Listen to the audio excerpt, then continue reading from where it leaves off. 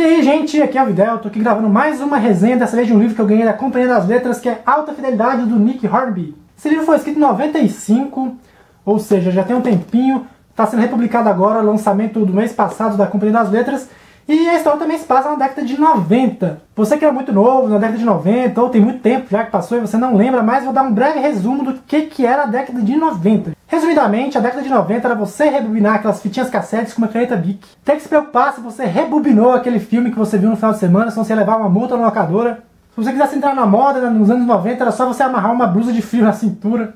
E se o seu jogo não estivesse funcionando, era só você tirar ele, assoprar e tentar colocar o cartucho de novo. E talvez a maior preocupação na década de 90 era não deixar o seu Tamagotchi morrer. Então agora que você já tem essas informações, vocês são quase experts nos anos 90, vou falar sobre o livro. O livro é narrado em primeira pessoa pelo protagonista chamado Rob. Ele é dono, nada mais nada menos do que uma loja de vinil. Vinil é essa bolacha aqui, ó, gente. Então ele é bem interessado em música pop. E ele é um cara que está lá com 35 anos, acabou de terminar a sua última relação com a Laura, que é a ex-namorada dele, e ele começa fazendo uma lista dos cinco piores términos de namoro dele, e ele não inclui a Laura nessa lista. E ele começa falando sobre o fim desses relacionamentos que ele teve, o que, que marcou tanto ele. E ele não inclui a Laura, meio que por um motivo de vingança, falando, Laura, eu já sou adulto, você não me magoou tanto assim quando terminou comigo, então não tanto quanto essas meninas, mas na verdade acabou magoando sim. E ele está nessa crise existencial dos 35 anos, tem uma loja de vinil que não faz sucesso, que custa pagar as dívidas, e ele vai atrás das ex-namoradas dele para saber o que aconteceu de errado. E no decorrer da história, tem aquelas pitadas de humor britânico. E é engraçado que no decorrer do livro ele faz várias listas para tudo. É, as melhores faixas iniciais dos discos, melhores trilhas sonoras de filme, cinco melhores baladas de todos os tempos, e faz um monte de coisa assim nesse sentido.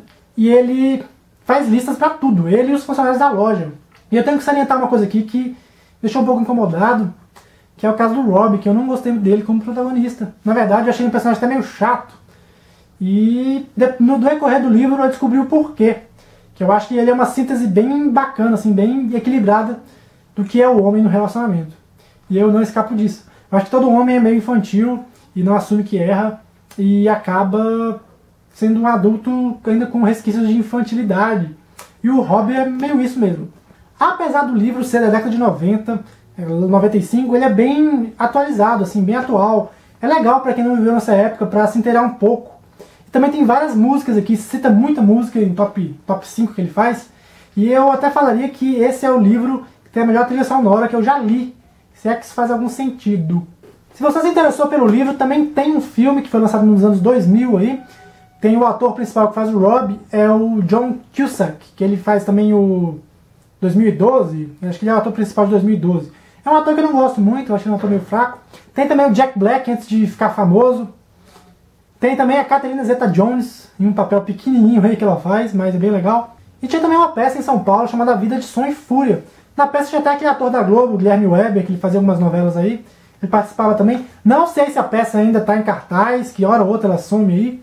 Mas até 2012, 2011 ela estava em cartaz, se não me engano. Só que fazendo uma comparação com o livro e o filme, eu acho que o livro é mais completo, porque o livro tem as listinhas, né? Os top 5 que não tem do filme. Mas o filme também é legal, quem quiser assistir aí. Não achei a legenda dele, mas eu consegui baixar. Esse livro eu recomendo para quem já teve alguns relacionamentos que não deram certo, ou quem gosta de música de qualidade, música pop, pop rock, essas coisas do tipo. Fica aí a dica para quem quiser. Alta fidelidade. E eu espero vocês no próximo vídeo. Um forte abraço. Barque nesse onde o mundo faz conta, a terra é quase céu. Talking about my girl, my girl. Que porra é essa?